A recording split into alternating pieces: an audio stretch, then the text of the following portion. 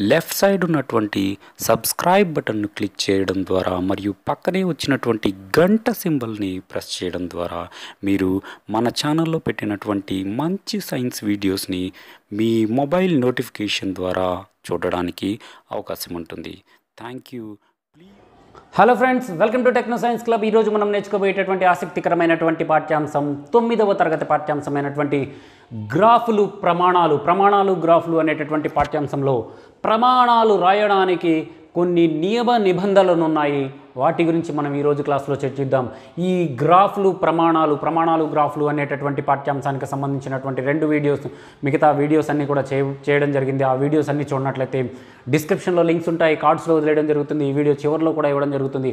ఆ వీడియోస్ చూసి ఈ గ్రాఫ్లు అనేటటువంటి ప్రమాణాలు గ్రాఫ్లు అనేటటువంటి పాఠ్యాంశాన్ని పూర్తిగా అర్థం చేసుకుంటారని భావిస్తూ ఈ వీడియోను పూర్తిగా చూడండి లైక్ చేయండి షేర్ చేయండి సబ్స్క్రైబ్ చేయడం మాత్రం మర్చిపోకండి. సబ్స్క్రైబ్ బటన్ పక్కన ఒక బెల్ సింబల్ ఉంటుంది ఆ బెల్ సింబల్ని ప్రెస్ చేసినట్లయితే మన ఛానల్లో పెట్టేటటువంటి కొత్త వీడియోస్ అన్నీ మీకు మొబైల్కి నోటిఫికేషన్ రూపంలో అందడానికి అవకాశం ఉంటుంది కాబట్టి please like share and subscribe. Let's go into the topic.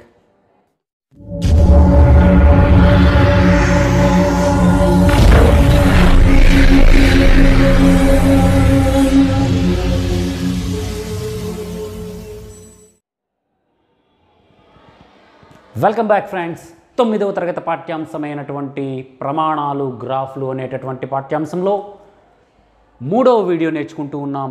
మిగతా రెండు వీడియోస్ కనుక చూడనట్లయితే డిస్క్రిప్షన్లో లింక్స్ ఉంటుంది. కార్డ్స్లో వదిలేయడం జరుగుతుంది. ఈ పాఠ్యాంశం చివరిలో కూడా ఇవ్వడం జరుగుతుంది. మీరు చూసి అర్థం చేసుకుంటారని భావిస్తూ ఈరోజు క్లాస్లో ప్రమాణాలు రాయడానికి కొన్ని నియమ నిబంధనల గురించి ఈరోజు మనం క్లాస్లో చూద్దాం. మొదటి నియమన అంటే ఒక రాశికి ఒక ప్రమాణ రాశికి ప్రమాణాలు రాయాలి అంటే అవి మీటర్లు కానీ సెంటీమీటర్లు కానీ సెకండ్లు కానీ గంటలు కానీ వాట్స్ కానీ ఇలా ప్రమాణాలు రాయాలి అంటే కొన్ని నియమ నిబంధనలు ఎట్లా పడితే అట్లా ప్రమాణాలు రాయకూడదు. ఆ ప్రమాణాలు రాయడానికి పాటించవలసినటువంటి నియమ నిబంధనల గురించి ఒకసారిగా మనం గమనించినట్లయితే మొదటి నిబంధనను గమనించినట్లయితే మొదటి నిబంధనలో సంఖ్యకు ప్రమాణాలకు మధ్య ఖాళీ ఇవ్వాలి. మనం ఒక సంఖ్యకు ఫర్ ఎగ్జాంపుల్ ఉదాహరణ గమనించినట్లయితే రెండు పాయింట్ నాలుగు కిలోమీటర్లు అన్నాం కిలోగ్రాములు అన్నాం. ఈ రెండు పాయింట్ ఐదుకి కిలోగ్రాములకి అంటే సంఖ్యకి ప్రమాణాలకి మధ్య కొంచెం స్పేస్ గ్యాప్ అనేది ఇవ్వాలి. అదొక రూల్. ఇక్కడ ముప్పై నాలుగు మీటర్లు అన్నాం. ముప్పై నాలుగుకి ముప్పై నాలుగుకి మీటర్లు అనేటటువంటి ప్రమాణానికి మధ్య కొంచెం గ్యాప్ అనేది ఉండాలి ఖాళీ అనేది ఉండాలి అనేది మొదటి నిబంధన. రెండవ ఈ నిబ మొదటి నిబంధనలోనే ఇంకొకటి ఏంటంటే డిగ్రీలు నిమిషాలు సెకండ్లు ఏదైనా కోణాన్ని గురించి చెప్పేటప్పుడు లేదా ఉష్ణోగ్రత గురించి చెప్పేటప్పుడు డిగ్రీలు మరియు కోణాల గురించి చెప్పేటప్పుడు అయితే డిగ్రీలు నిమిషాలు సెకండ్లను చెప్తాము. డిగ్రీలు అంటే అలా చెప్పినప్పుడేమో ప్రమాణాలకి సంఖ్యకి మధ్య గ్యాప్ ఇవ్వాల్సిన అవసరం లేదు. ముప్పై డిగ్రీలు ముప్పై పైన చిన్న సున్నా పెడతాం. ముప్పై డిగ్రీలు అని చెప్తాం. అలాగే ముప్పై డిగ్రీల ఇరవై ఎనిమిది నిమిషాలు ఒక కామ పెడతాం. నలభై సెకండ్లు రెండు కామాలు పెడతాం. ఇది దాని యొక్క కోణం. ఒక కోణాన్ని చెప్పేటప్పుడు కానీ ఒక ఉష్ణోగ్రతను చెప్పేటప్పుడు కానీ డిగ్రీలు నిమిషాలు సెకండ్లలో చెప్పేటప్పుడు మనకి ప్రమాణాలకి సంఖ్యకి మధ్య ఖాళీ ఇవ్వాల్సిన అవసరం లేదు అనేది ఈ మొదటి నిబంధనలోనే భాగం. ఇక రెండవ నిబంధన గమనించినట్లయితే గుణించడం వల్ల ఏర్పడేటటువంటి ఏర్పడినటువంటి ఉత్పన్న ప్రమాణాలకు మధ్య డాట్ చుక్క లేదా ఖాళీ అనేది ఇవ్వాలి. గుణించడం ద్వారా ఏర్పడిన ఉత్పన్న ప్రమాణాలు అంటే వైశాల్యం ఉంది. పొడవు ఇంటూ వెడల్పు. రెండు ప్రాథమిక ప్రమాణాలను కలిపి గుణించడం ద్వారా ఏర్పడే వాటిని ఉత్పన్న ప్రమాణాలు అంటాం.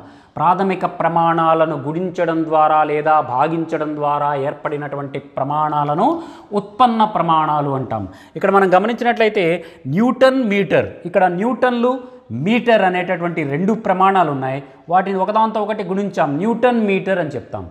ఆ న్యూటన్ మీటర్ రెండు ప్రమాణాలు గుర్తించేటప్పుడు వాటి మధ్య చుక్క అనేది ఉంచవచ్చు. Newton metre. సారీ చుక్క అనేది లేకుండా చుక్క లేదా ఖాళీ ఎలా అయినా ఇవ్వచ్చు. న్యూటన్ మీటర్కి చుక్క పెట్టచ్చు లేదా న్యూటన్ మీటర్ అని కొంచెం ఖాళీ ఇచ్చే రాయొచ్చు అని చెప్పడం జరిగింది. చుక్క పెట్టినా పెట్టకపోయినా సరే ఖాళీ అయినా ఇవ్వాలి కంపల్సరీగా. పక్క పక్కనే న్యూటన్ మీటర్ అనేది ఇలా పక్క పక్కనే రాయకూడదు. న్యూటన్ మీటర్ అని రాయకూడదు. కొంచెం గ్యాప్ ఉన్నా ఇవ్వాలి లేకపోతే మధ్యలో డాట్ అయినా పెట్టాలి. అదేవిధంగా మూడవ నిబ నిబంధనకు వచ్చినట్లయితే భాగించడం వల్ల ఏర్పడేటటువంటి ఉత్పన్న ప్రమాణం ఇందాక గుణించడం వల్ల ఏర్పడే ఉత్పన్న ప్రమాణాలకు మధ్యలో చొక్క పెట్టాం లేదా ఖాళీ పెట్టాం.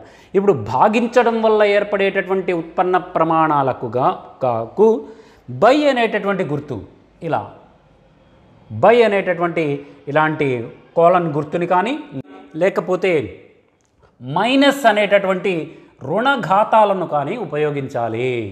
Metre metres second minus one లేకపోతే మీటర్ పర్ సెకండ్. అలా చెప్పాలి. అదేవిధంగా నాలుగోది గమనించినట్లయితే ప్రమాణాలు రాసేటప్పుడు కానీ ప్రమాణాలు రాసేటప్పుడు ఇలా పోలీస్ స్టాపులు కానీ లేకపోతే కామాలు కానీ రాయకూడదు. ఫర్ ఎగ్జాంపుల్ కిలోగ్రామ్ అన్నాం. కిలోగ్రామ్ మామూలుగా ఇలా రాయాలి? అంతేగాని కీకి గ్రాకి మధ్యలో డాట్ అనేది ఉంచకూడదు. కిలోమీటర్లు అన్నాం. కిలోమీటర్ ఇలా రాయాలి? అంతేగాని కిలో కిలోకి మీటర్కి మధ్య కామా కానీ లేకపోతే పులి స్టాప్ కానీ పెట్టకూడదు. అనేది నాలుగవ నిబంధన. ఇక ఐదవ నిబంధనకు వచ్చేటప్పటికి అన్ని ప్రమాణాలు చిన్న అక్షరాల్లోనే రాయాలి. దాదాపుగా ఒక్క శాస్త్రవేత్తల పేర్లు వచ్చే ప్రమాణాలు తప్ప మిగతా అన్ని ప్రమాణాలు కూడా చిన్న అక్షరాలనే ఉపయోగించాలి. మీటర్స్ అంటే స్మాల్ ఎం అని సెకండ్స్ అంటే స్మాల్ ఎస్ అని మోల్స్ అంటే ఎంఓఎల్ స్మాల్ అన్నీ కూడా స్మాల్ లెటర్స్లోనే యూజ్ చేయాలి. అదేవిధంగా ఆరవ నిబంధనకు వచ్చేటప్పటికి వ్యక్తి పేరు మీద ఉన్నటువంటి ప్రమాణాలకు ఆంగ్ల పెద్ద అక్షరాలను మొదటి అక్షరంగా వాడవచ్చు. ఫర్ ఎగ్జాంపుల్ పాస్కల్ ఉంది. పాస్కల్ అనేటటువంటి శాస్త్రవేత్త పేరు మీద వచ్చింది కాబట్టి మొదటి అక్షరం పి అనే అక్షరాన్ని మనం వాడవచ్చు. అదేవిధంగా న్యూటన్ బలానికి ప్రమాణాలైనటువంటి న్యూటన్స్ దా ప్రమాణాలు చెప్పేటప్పుడు శాస్త్రవేత్త పేరు మీద వచ్చింది కాబట్టి మొదటి అక్షరం ఆంగ్ల అక్షరం అయినటువంటి ఎన్ అనేటటువంటి అక్షరాన్ని వాడవచ్చు. అదేవిధంగా జౌల్స్ జౌల్ పేరు మీద వచ్చింది కాబట్టి మొదటి అక్షరం జౌల్ అనేటటువంటి శాస్త్రవేత్త పేరు మీద వచ్చింది కాబట్టి జౌల్ జే అనేటటువంటి మొదటి అక్షరాన్ని పెద్ద అక్షరాన్ని ఆంగ్ల అక్షరాన్ని ఉపయోగించవచ్చు. ఇది ఆరవ నిబంధన. ఏడవ నిబంధనకు వచ్చేటప్పటికి ప్రమాణ గుర్తులకు ముందుగా ఉండవలసినటువంటి పూర్వ గుర్తులకు మధ్య ఖాళీ ఉంచరాదు. ప్రమాణ గుర్తులు పూర్వ గుర్తులు అని రెండు ఉంటాయి. ప్రమాణ గుర్తులకు ముందు వైపు ఉంటాయి పూర్వ గుర్తులు. ఫర్ ఎగ్జాంపుల్ కిలో హెడ్జెస్ లేదా గిగా హెడ్జెస్ మెగా హెడ్జెస్ అని రాస్తూ ఉంటాం. ఇలా kilo hedges giga hedges mega hedges రాసేటప్పుడు ఇలా రాసేటప్పుడు ఏమవుతుందంటే ఈ జీ అనేది ఏమో మనకి పూర్వ గుర్తు అవుతుంది హెచ్జెడ్ అనేదేమో ప్రమాణ గుర్తవుతుంది. ప్రమాణ గుర్తుకి ముందు పూర్వ గుర్తు giga hertz kilo hertz mega hertz అని రాస్తుంటారు. కిలో హెడ్జెస్ కానీ కేహెచ్జెడ్ అని రాస్తుంటారు. Kilo hertz M H Z అని రాస్తుంటారు. Megahertz. అలా రాసేటప్పుడు ఏమవుతుందంటే వాటి మధ్య ఖాళీ అనేది ఉంచరాదు కలిపే రాయాలి. నెక్స్ట్ ఎనిమిదవది గమనించినట్లయితే మిశ్రమ పూర్వ గుర్తులను వాడకూడదు. పూర్వ గుర్తు అనేది ఒకటే ఉండాలి. ఒక పూర్వ గుర్తు ఉండాలి దాని పక్కనే ప్రమాణ గుర్తులు అనేవి ఉండాలి. ఇలా గిగా హెడ్జెస్ జీ అనేది పూర్వ గుర్తు హెడ్జెన్ అనేది ప్రమాణ గుర్తు. అలా ఉండాలి తప్ప రెండు పూర్వ గుర్తులు ఉండకూడదు. ఉదాహరణకి గిగా హెడ్జెస్ జీహెచ్జెడ్ అని రాయాలి లేకపోతే మెగా హెడ్జెస్ ఎంహెచ్జెడ్ అనే రాయాలి. అంతేగాని మెగా గిగా హెడ్జెస్ అని మొత్తం కలిపి రాస్తానంటే ఎంజీహెచ్జెడ్ అని రాయకూడదు. ఇది నిబంధన. నెక్స్ట్ తొమ్మిదవ నిబంధనకు వచ్చేటప్పటికి మిశ్రమ పూర్వ గుర్తుల మధ్య డాష్లు అనేవి ఉంచకూడదు ఇలా మైనస్లు కానీ డాష్లు కానీ ఉంచకూడదు. ఫర్ ఎగ్జాంపుల్ పది కేజీలు అన్నాం టెన్ కేజీస్ అంతే రాయండి. అంతేగాని టెన్ పక్కన ఒక డాష్ పెట్టి కేజీ అని రాయకూడదు ప్రమాణాలు అలా రాయకూడదు. మీటర్ సెకండ్ స్క్వేర్ అన్నాం అంతేగాని మీటర్కి సెకండ్ స్క్వేర్కి మధ్య గ్యాప్ అనేది ఇవ్వకూడదు. డాష్ అనేది పెట్టకూడదు. అదేవిధంగా పదవది గమనించినట్లయితే పేర్లతో ఉండేటటువంటి ప్రమాణాలకు బహువచనం పూర్తి రూపంలో మాత్రమే వాడాలి. ఫర్ ఎగ్జాంపుల్ ఇక్కడ పది న్యూటన్లు అన్నాం. ఇక్కడ పేర్లతో న్యూటన్ అనే శాస్త్రవేత్త పేర్లతో వచ్చిన ప్రమాణం కాబట్టి ఇది రాస్తే పది న్యూటన్లు అని పూర్తిగా రాయాలి. పది న్యూటన్స్ ఎన్ఈడబ్ల్యూటీఓఎన్ఎస్ బహువచనం రాయొచ్చు. పూర్తిగా రాస్తే పేరు పూర్తిగా రాస్తే బహువచనం రాయొచ్చు. పది న్యూటన్స్ అని. అలాగని షార్ట్ ఫామ్లో టెన్ ఎన్ ఎస్ అని రాయకూడదు. టెన్ ఎన్ అనే రాయాలి. పది న్యూటన్ టెన్ ఎన్ అనే ఎన్ అంటే అర్థమే టెన్ న్యూటన్స్. అంతేగాని ఎన్ఎస్ అని రాయకూడదు. మామూలుగా ఇలా కూడా పది కేజెస్ అన్నాం. కేజీ అని రాయాలే తప్ప పది కేజెస్ అని రాయకూడదు. పది కేజీ అనే రాయాలి. కేజీ పది కే టెన్ కేజీ అంటేనే టెన్ కేజెస్ అని అర్థం. అంతేగాని టెన్ కేజెస్ అని రాయకూడదు. ఎస్ అనేది రాయకూడదు. ఇది పదవ నిబంధన. పదకొండో నిబంధనకు వచ్చేటప్పటికి ప్రమాణాలు ఏకవచనంలో మాత్రమే రాయాలి. అదే ఇందాక చెప్పాం మనం. ఒక్క పేరుతో వచ్చే వాటిని పూర్తి పేరుతో రాయొచ్చు కానీ టూ కేజీ అన్నాం. టూ కేజీ అంటే టూ కేజెస్ అని రాయకూడదు. ఎస్ అని రాయకూడదు. అంతేగాని టెన్ కేజీ అంటే టెన్ కేజీ అని రాయాలి. అంతే టెన్ కేజెస్ అని రాయకూడదు. పది మీటర్లు అన్నాం అనుకో పది ఎం అని రాయాలి తప్ప పది మీటర్స్ ఎస్ అని రాయకూడదు. ఎంఎస్ అని రాయకూడదు. మీటర్స్. అక్కడ పది టెన్ ఎం అన్నామంటేనే టెన్ మీటర్స్ అని అర్థం. అంతేగాని పది మీ ఎంఎస్ అని రాయాల్సిన అవసరం లేదు. ఇది నిబంధన.